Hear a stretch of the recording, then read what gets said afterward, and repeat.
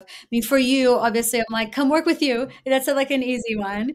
Um, but you know, if they're trying to find a way out, there's one particular case on the Amazon series where this girl, this young girl, finally called her mom and say, "No, please come pick me up." And her case was interesting because she wanted to be a musician, she wanted to sing, she had like all these great skills. And you see the video where Jeff says, "No, you don't. You want to be a coach for Twin Flames universe." And you can see her flame, like her mind going, "But I."